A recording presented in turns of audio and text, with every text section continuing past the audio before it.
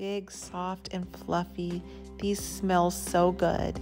Let's make some homemade dinner rolls. In a large microwave safe mixing bowl, add the milk and microwave for 30 seconds. The milk should be warm but not hot. Add the yeast, the sugar, the egg, the olive oil, and mix to combine the egg. Now add the flour and mix around. The dough will be a thick batter consistency. When fully mixed, cover and let rise until double in size, about an hour. Deflate the dough and then scrape it into a sticky, sticky dough ball. Place the dough on a lightly floured work surface.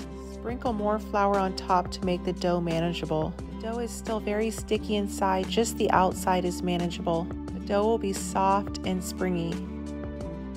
Using a dough cutter or a floured spatula, cut the dough out into even sized pieces. Lightly flour the exterior and form into rolls. Place the rolls in a pan where they're just touching and sprinkle with flour. Cover and let rise about one hour until double in size. Bake in a preheated oven until just barely golden brown.